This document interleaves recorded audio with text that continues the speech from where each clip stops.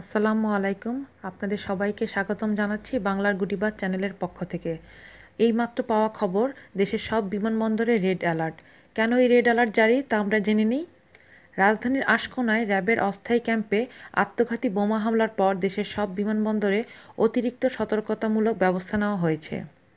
বেসামরিক বিমান পরিবহন ও পর্যটন মন্ত্রণালয়ে জনসংযোগ কর্মকর্তা মাহবুবুর রহমান তুহিন বলেন, আশকোনার ঘটনার পর অন্য কোনো অনাকাঙ্ক্ষিত ঘটনা এড়াতে এই সতর্কতামূলক ব্যবস্থা গ্রহণ করা হয়েছে।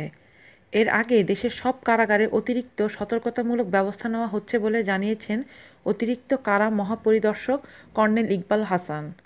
কারা মহাপরিদর্শক জানান, কারাগারগুলোতে এমনিতেই সবসময় রেড অ্যালার্ট জারি থাকে।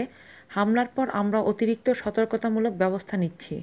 শুক্রবার দুপুর একটার দিকে আশকোনায় র্যাবের অস্থায়ী ক্যাম্পে আত্মঘাতী বোমা হামলা চালানো হয়। এতে ওই হামলাকারী নিহত হন। আহত হয়েছেন র্যাবের দুই সদস্য। তাদের হাসপাতালে ভর্তি করা হয়েছে। আমার চ্যানেলটি যদি ভালো লাগে, তাহলে সাবস্ক্রাইব করতে ভুলবেন না। ধন্যবাদ।